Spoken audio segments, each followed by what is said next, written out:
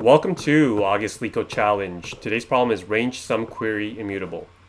Given an integer array nums, handle multiple queries of the following type.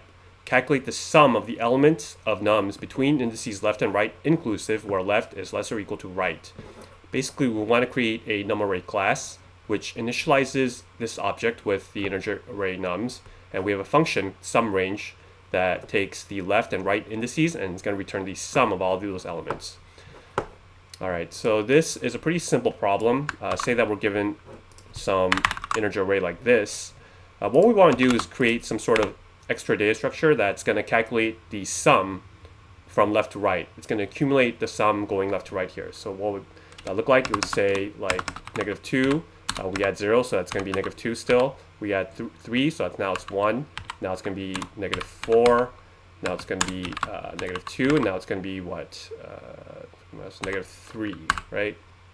Uh, and the thing is, we're going to have to have an extra value here at the beginning for 0 if we're just going to um, be adding in this value as well. We're going to have 1 index value minus 1.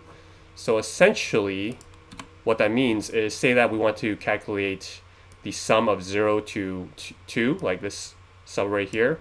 Uh, we'll just take the sum that we have at 3 right here and subtract by uh, minus 1 of that index, so that's 0, right? So 1 minus 0 is equals 1, and indeed we can see the sum is equal to 1. Same way here, if we want to find the sum of this, uh, this would be 0, right? So we take negative 2 and subtract it by um, negative 2 here, which is plus 2, so that's going to equal 0. Okay, so let's begin. All we need to do is uh, create some sort of lookup. Uh, we'll call this cumulative, and we are going to, let's see, accumulate all the nums here. We're going to have to reconvert this to a list. And keep in mind, we need that extra value in the beginning for 0, right? So 0 like this, plus. Finally, just to return the sum range, all we need to do is return uh, cumulative right subtracted by self dot cumulative left minus 1. I believe that's correct. So let's make sure this works. Oh, negative 3. Hmm. Oh, okay, so I think I screwed that up. It's actually just like that. Yep, okay, so that looks like it's working. Let's go ahead and submit it.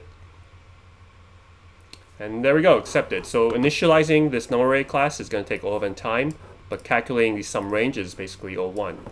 And that's it. Alright, thanks for watching my channel. Remember, do not trust me. I know nothing.